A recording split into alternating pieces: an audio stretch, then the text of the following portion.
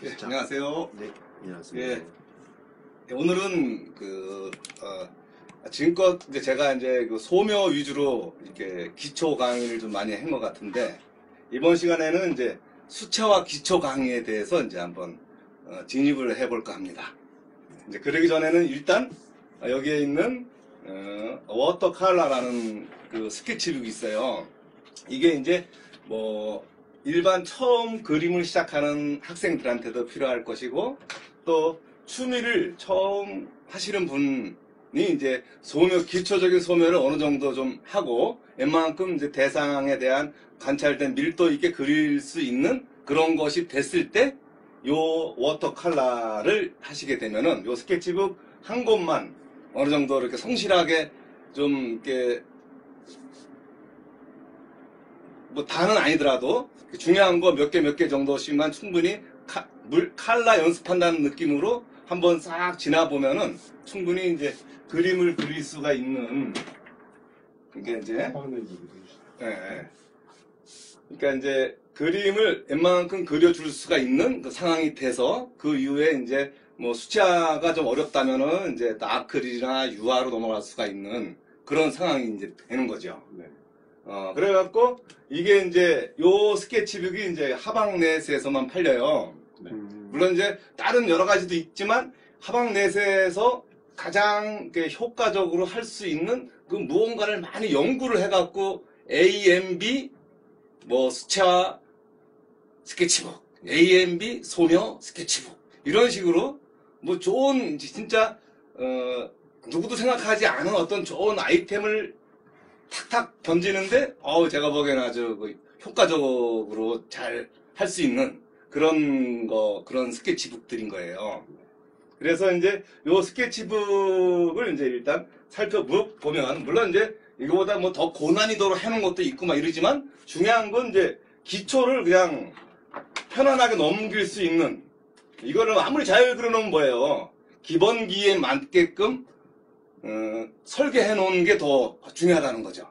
그래갖고 이제 이렇게 이제 직립면체에 대한 거라든가 뭐 일단 소묘로 아마 다 해봤었을 거예요. 네. 그렇지만 수채화로 물과 함께 이렇게 조절해서 농담 조절해가면서 하는 그 재미를 느끼면서 그리셔야지 이제 수채화로서 농담 조절, 명암 조절, 그리고 또 양감, 질감까지도 이제 표현하게 되는 그렇게 돼서 그냥 이렇게 너무 잘하려고 그러는 것보담도 여기에 나와 있는 거대로 그냥 한번 뭐 잘하는 게 아니라 그냥 따라 그리는 거. 뭐 이렇게 굳이 뭐 이렇게 그래서 그냥 그 스케치도 웬만큼 아 돼 있고 원래 이제 수차에서 좀 나중에 좀 보면은 약간 스케치적인 게 약간 좀 귀찮을 수도 있는데 여기서는 일단 스케치가 대신 다 돼 있으니까 이 스케치북에서만큼은 어떤 뭐 형태에 대한 스트레스 말고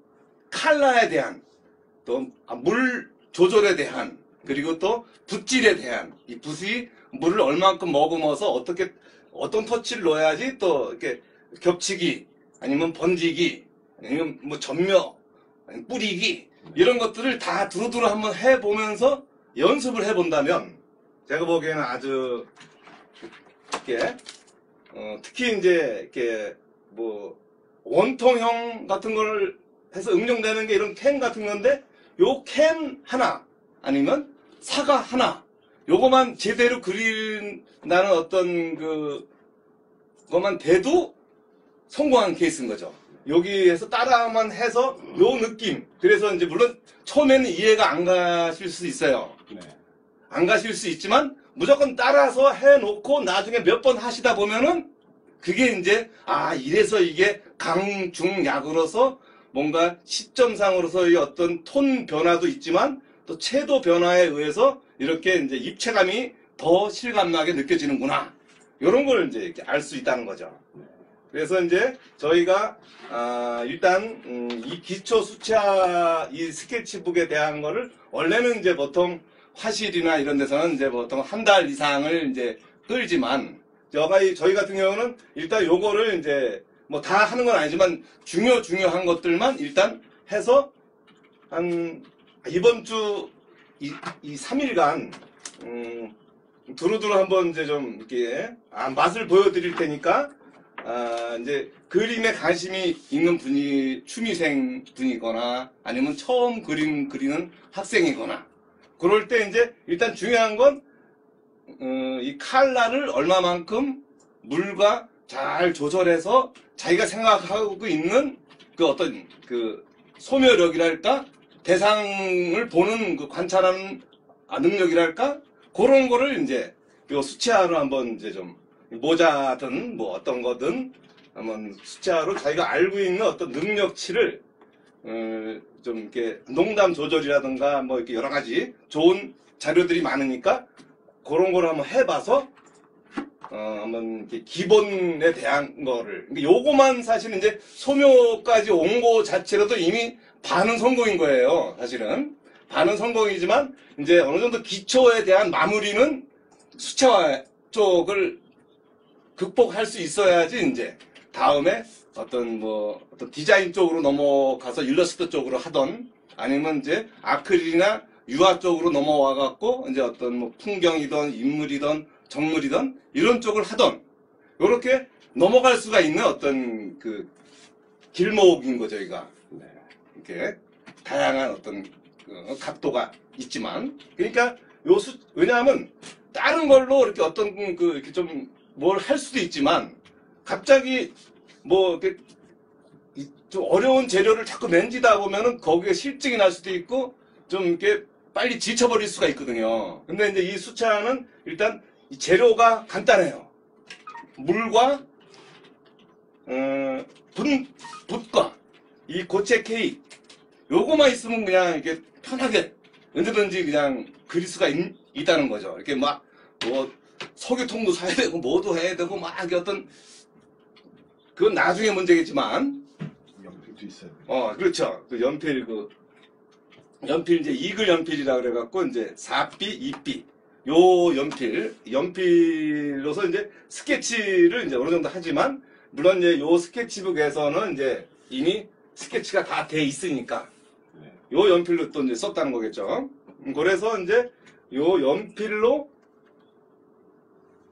그리고 그러면서 이제 수채화와 물과 또 붓과 이런 걸 좀 하게 되는데 그래서 이제 일단 그 준비물에 대해서 이제 이렇게 필요하다는 게 뭐냐면 일단 수채화에서는 이제 이런 물통 물통이 필요하고 그러니까 이 물통과 뭐 그다음 이제 뭐 어떤 붓 백붓도 필요하고 뭐 이렇게 일반 뭐 10, 16호, 8호, 12호 요 세 자루 정도가 필요하고 그 다음 이제 요렇게 뭐 야외용이라 그러면 요렇게 이제 예, AMB 고체 물감으로서 요런 정도 작은 사이즈에 대한 요런 것도 있고 또 이게 이제 아, 골드 쪽 물감이 고급스러워 갖고 이게 좀, 어, 좀 가격이 조금 있지만 어, 색감의 발색이라든가 이게 선명도 그리고 섞여서의 어떤 그 두 가지 세 가지가 섞여도 이렇게 탁하지가 않는 그런 어떤 좋은 고급 소재의 어떤 물감인 거죠. 이게 골드라 그래요. 골드. 약간 전문가들이 많이 쓰시는 건데 근데 이제 이 실버라는 음, 그런 팔레트도 있어요. 요게 가장 많이 나가는 힐백 고체 물감이라 그래갖고 요것도 거의 뭐 이제 이 골드 못지 않은 그런 색상력과 느낌을 갖고 있어갖고 요거를 이제 일- 일단 이제 처음 하시는 분들이라든가 웬만큼 하시는 분들은 요걸 가지고 이제 한번 연습을 많이 해보시면은 좋은 결과가 있을 것 같아요. 그래서 이제 요게 이제 왜 좋냐면 뭐 이렇게 어떤 물감을 짜고 뭐 어떻게 하고 물감도 들고 다니고 또 팔레트도 또 따로 들고 다니고 뭐 막 이러는 어떤 불편함 없이 그냥 여기에 그냥 하나에 딱 요 팔레트 하나면은 다 이제 이렇게 불편함 없이 하나만으로도 충분히 다 될 수가 있고 그리고 또 이 물감이 뭐 얼마 안 되는 것처럼 보이지만 이게 이제 지금 요게 한 보통 요만한 용기에는 한 6mm, 7mm밖에 안 들어가는데 이게 12mm 정도가 들어갔다는 거예요. 그러니까 두 배 이상 이거보다 부피가 두 배 이상 커질 텐데 요렇게밖에 안 돼 있다는 얘기는 이제 한 번 5, 6mm 정도를 놓아놓고 15일, 15일 정도를 이제 이렇게 저장을 해 놓는데요, 이렇게.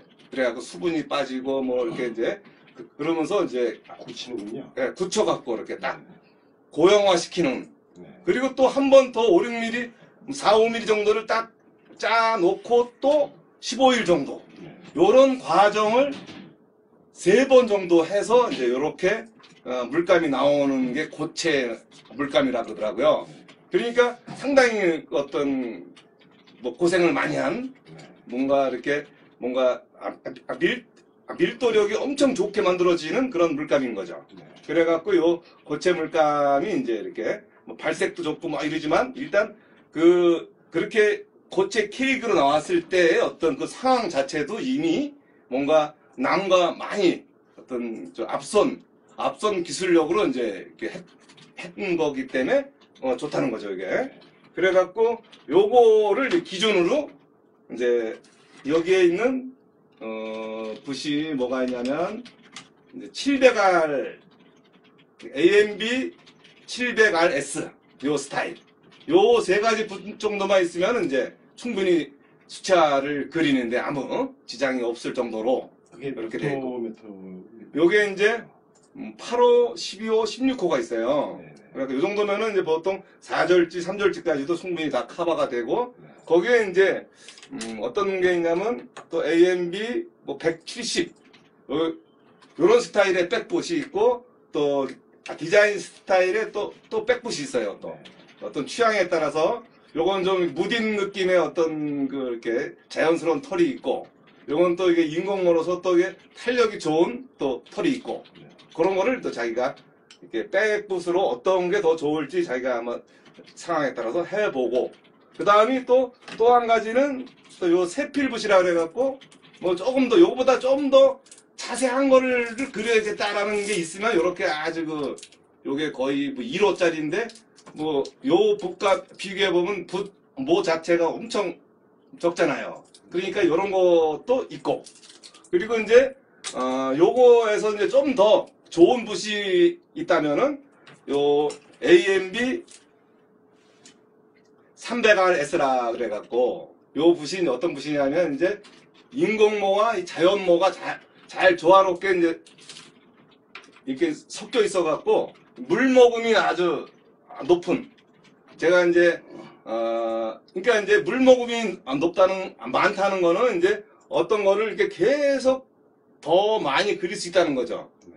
근데 물론 요 붓도 이제 물 모금이 없다는 건 아니지만 거의 사실은 다른 건 거의 뭐 이렇게 붓 끝에 어떤 그 느낌이라든가 뭐 탄력이라든가 이런 건 거의 뭐 대등하지만 이제 요거에서 차이가 있다면 이제 어 요게 이제 인조모로서의 어떤 그 700R은 뭐 이렇게 탄력과 뭐 다 되지만 좀 더 오래도록 어떤 묘사를 하고 이렇게 막 할 수 있는 붓은 요 300R. 요게 이제 좀더 어, 지속적으로 그리게 되는 그런 스타일인 거죠. 그래갖고 요게 좀 고급 붓으로서 이제 아마 그리시다 보면 제가 이제 한번 요 붓을 가지고 줄을 선을 계속 그어 봤더니 어느 정도 순간부터는 이제 이 300알 요 붓이 더 한 1m 이상을 더 이렇게 길게 가더라고요. 이렇게 그런 거. 그러니까 약간 그 물먹음이 필요한 어떤 무언가 있을 때는 이제 요런 붓을 쓰는 게 좋을 거고요. 네. 음, 그리고 뭐 웬만한 건 이제 다 했지만, 음, 그러니까 이제 일단 이 붓으로 이 붓으로 이제 뭘 뭘 할 수 있는지 어떤 거가 있는지 그런 거를 이제 한번 연습을 또 한번 해볼게요. 그러니까 이렇게 이제 만약에 좀 연한 색깔로 아 연한 게 아니라 좀 더 연한 느낌으로 이제 한번 이런 거를 그리고 좀 더, 좀더 진하게 이제 슬슬 이렇게 간다면, 그리고 또 약간 또 뭐, 이렇게 또 반다이크라든가 뭐, 요런 걸 또 좀 섞거나, 좀 더 진한 거, 좀 더 진한 거, 이런 식으로 이렇게 이 붓터치를 가지고 아니면 또, 또 다른 걸로 한번 더 해볼까요? 한 녹색 계열로 한번 이렇게 좀, 조금 더 진하게. 이런 거를 심심할 때마다 이렇게 연습을 해보셔야 돼요. 그래갖고 약간 샵 그린 쪽으로 넘어가갖고, 이렇게. 그리고 빌리디안 쪽으로 이렇게 살짝, 아, 아, 아, 넘어온다든가. 그리고 약간 울트라마린, 이런 색깔로 이제 안 넘어오고, 좀 더 진한 색깔로 좀 거의 그 원액에 가까운 색깔을 칠해보고 그리고 이제 뭐 약간 블랙을 블랙이든 뭐 블랙은 안 쓰지만 써도 되고 그쪽으로 이렇게, 이렇게 오면서 거의 블랙에 가까운 이런 색깔들. 아니면 또 좀 조금 작은 붓으로 작은 붓으로 뭐 이렇게 그 노, 노란 계열을 한번 또 좀 연하게 한번 한다면 좀 더 이제 아, 노란에서 좀 좀 더 진하게 넘어가고 약간 이제 좀 주황 느낌으로서 살짝 아, 넘어오기도 하고 아까 약간 붉은기로도 살짝 이러면서 이제 세피아 쪽으로 넘어오고 그래서 세- 아, 세피아 진한 진한 걸로 또 넣- 어, 넘어오다가 뭐 좀 red brown이라든가 Van Dyke brown 이런 쪽으로 이렇게. 그다음 Van Dyke. 그다음 약간 black 같은 느낌. 또 블랙. 아예 블랙. 이런 식으로 이렇게 칼라에 대한 이런 농담을 느끼면서 음 뭐야 그 이렇게 연필에서 명도 단계를 쭉 하는 것처럼 이제는 또 뭐 어떤 파란 계열로 한번 해볼까요? 뭐 파란색? 좀 진하게? 좀 물을 좀덜 타갖고 아이고 뭐 처음 지금 너무 세게 올라와 버렸네. 이런 식으로 이렇게 아, 내려오는 거죠 이렇게 이런 식으로. 아니면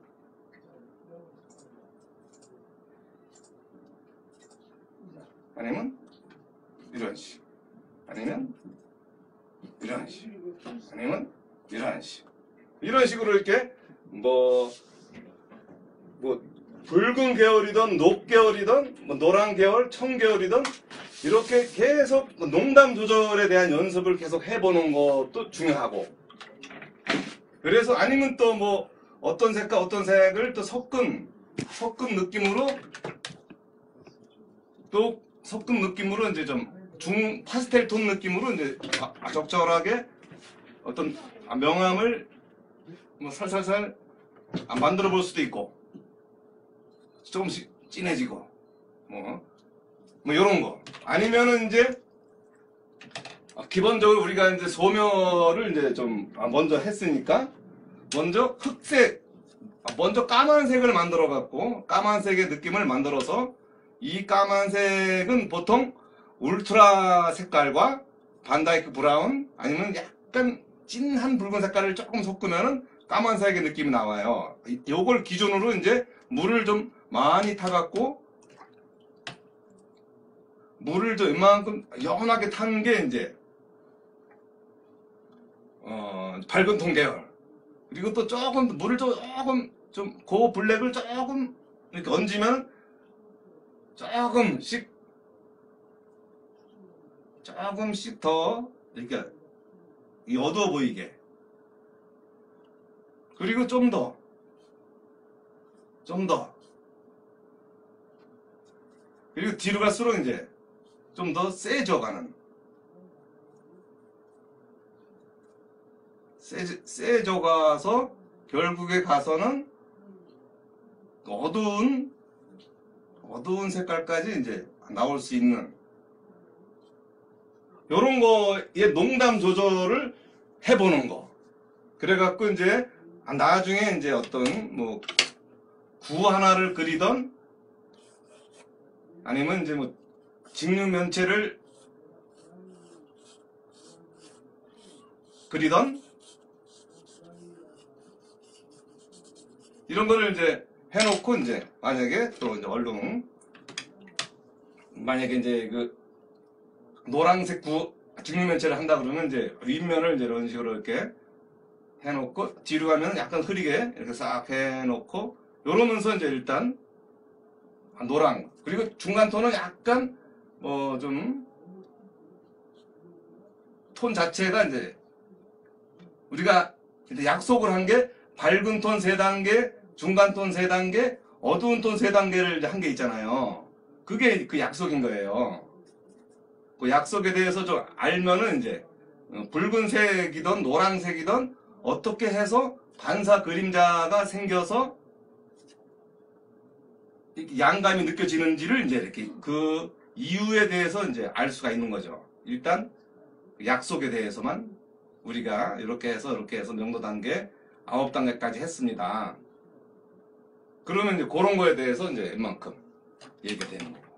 만약에 이제 붉은 계열을 한다 치면 또 이 붉은 계열로 이제 어느 정도 밝은 밝은 톤과 빛- 위로 넘어가는 톤 빛을 받으니까 빛이 바래지니까 물을 좀만 더 타면은 이제 이렇게 이제 밝은 톤에서 밝은 톤 저 멀어지면 밝은 톤이 흐려지니까 이런 식으로 이렇게 붉은 계열이더라도 그 중간 톤에서 밝은 톤에서 중간 톤으로 이렇게 오는 그 과정들이 다 나름의 그 이유가 있이 그 느낌들이 나온다는 거죠. 그리고 어두운 톤은 이제 그 다음 어둠이 시작하는 자리서부터 끝나는 자리와 그리고 반사 그림자를 이제 이렇게 연출을 할 수 있다면 이런 식으로 나중에 이제 좀 진한 데 같은 데는 이제 얘가 마른 다음에 수채화는 중요한 게 말라야 돼요. 웬만하면. 어떤 거를 좀 더 그냥 한 번에 다 하려고 막 애써봐야 그냥 다 물이 흘러버리니까 마른 다음에 이렇게 좀 쌓고 쌓고 하는 거에 대한 생각을 좀 해야 돼요. 기본적으로는. 그래야지 이제 자기가 원하는 밀도를 낼 수가 있죠. 이렇게 마르는 거에 대한 상태에 따라서 이제 어떻게 이제 연출을 할지를 이제 판단할 수도 있는 거고. 그리고 또 같은 색을 한 번씩 더 이렇게 올라가면 또한 톤씩 더 톤이 높아질 수가 있으니까 그것도 자꾸 경험을 해 보면 괜찮죠. 그리고 또 썼던 색깔 뭐 한 번 더더 쏜다고 해서 뭐 이렇게 달라질 건 아니니까 한번 이런 데도 한번 더 올려보고 그리고 또 진한 색깔을 한번 또 거의 말랐다 치면 진한 거를 한번 더 넣고. 아직 안 말랐네요. 흐르는 거 보니까. 이런 식으로 이렇게. 그래서 이렇게 농담 조절로 양감에 대한 어떤 느낌들을 연출할 수 있다는 거. 그거를 이제 어, 이번 요 스케치북을 통해서 한번 음, 이게 두루두루 한번 이제 아, 3일간에 걸쳐서 어, 기본에 대한 그리고 또 중요한 건 이런 것처럼 이렇게 어떤 물이 뭉쳐갖고 자연스러운 어떤 우연의 효과와 그리고 물 농담의 조절과 그런 또 이 붓터치의 어떤 수직으로 쓰냐 수평으로 쓰냐 뭐 이렇게 살짝 얻느냐 좀 진하게 누르느냐 그런 거에 따라서 이제 터치에 대한 느낌들이 다양성 있게 나올 수가 있는 거니까 아주 뭐 라인 위주로 그려는 것도 괜찮고 뭐 다양하게 뭐 이렇게 해 보는 거예요. 그러니까 일단 어, 여러분들이 이제 이 수채화랑 친숙해질 수 있도록 이렇게 물놀이와 붓, 물감 이런 거를 두루두루 갖춰 가, 가지고 뭐 기법이든 기법 뭐 그냥 선연습이면 선연습 아니면 또 색깔을 어 이런 색깔이 이런 색깔이구나 이런 발색이 있구나 이런 것들을 자- 자꾸 자꾸 자꾸 연습을 해보다 보면은 아무래도 어, 이 수채화에 대한 그 이렇게 두려움이랄까 이런 것이 좀 사라질 수가 있죠. 그러니까 이 수채화를 에, 뭐 이렇게 조금만 좀 기법적인 것도 그렇고 색감, 농담 조절 이런 것들을 두루두루 해볼 수 있어야지 이제 그림을 그리실 때 부담 없이 할 수 있는 그런 거가 되겠어요.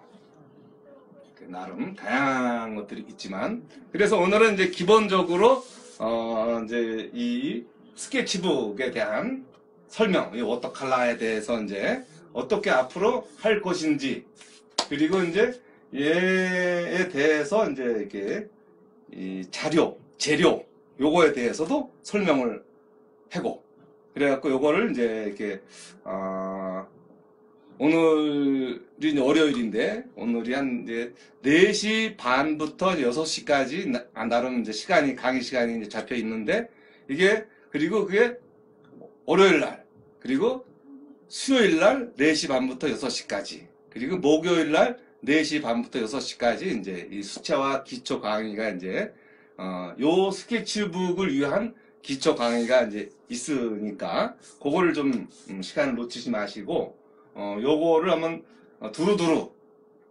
살펴보면서 또 이 재료들에 대해서 한번 조금씩 어, 연습을 해보고 어, 같이 한번 제가 한번 먼저 해보고 아마 나중에 아마 그 따라 하셔도 되고 그리고 이게 어 그 지금 이제 편집을 하고 있지만 요렇게 오늘 요 강의가 이제 뭐 페이스북 같은 경우는 그냥 저 뒤로 쓱 아, 물러나 버릴 수가 있어요. 이렇게 지금 하루 잠깐 봤지만 또 다시 보려 그러면 한참 쫙 뒤로 가야 되는데 하방넷에 이제 실시간 라이브 미술 강의라는 하방넷을 치면은 실시간 라이브 미술 강의라는 게 있어갖고 소묘 쪽도 그렇고 아크릴 유화 쪽 이런 것들을 두루 볼 수가 있고 이번에 만약에 이제 어 3일